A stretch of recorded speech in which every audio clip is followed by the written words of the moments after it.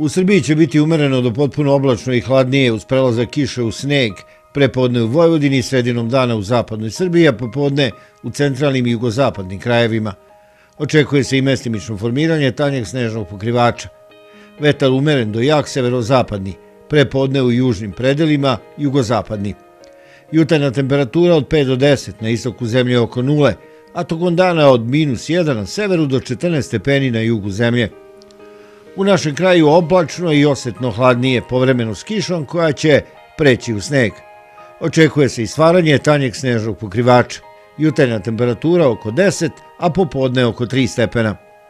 U subotu na severu Srbije razvedravanje, u ostalim krajevima oblačno sa snegom.